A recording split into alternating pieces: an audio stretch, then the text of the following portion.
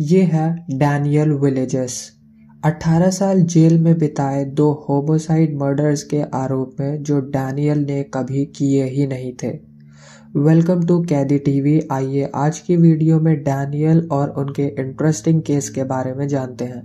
एल्पासो Texas विएगस में Daniel को arrest किया गया था जब वो केवल 16 इयर्स के थे।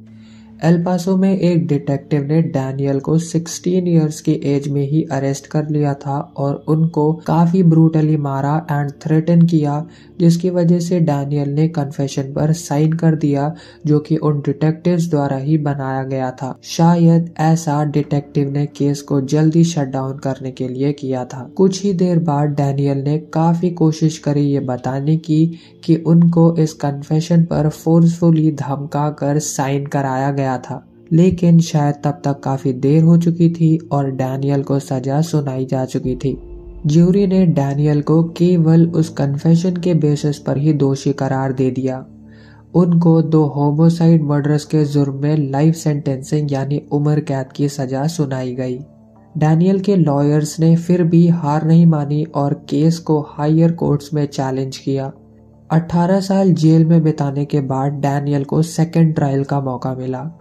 केवल कन्फेशन के बेसिस पर डैनियल को सजा सुनाना शायद ज्यूरी को ठीक नहीं लगा और बेल पर डैनियल जेल से बाहर आ गए।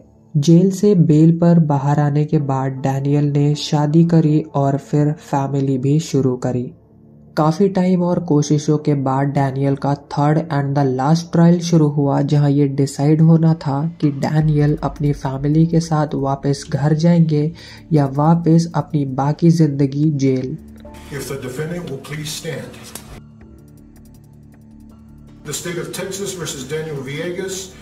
Verdict form B. We, the jury, find the defendant Daniel Villegas not guilty of.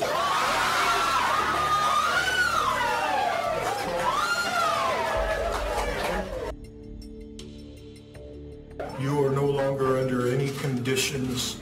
You are free to leave. Thank you. Daniel के लॉयर्स ने उस डिटेक्टिव की सच्चाई कोर्ट में प्रूफ कर दी और ये विद प्रूफ कोर्ट में साबित कर दिया कि डैनियल को ज़बरदस्ती उस कन्फेशन पर साइन कराया गया था फाइनली सारे सबूतों और गवाहों को मद्देनजर रखते हुए डैनियल को ज्यूरी ने सारे गुनाहों से फ्री कर दिया और डैनियल का रिएक्शन आप देख सकते हैं ऐसे ही चिलिंग वीडियोस के लिए कैबी टीवी चैनल को सब्सक्राइब कर सकते हैं। Thank you for watching good bye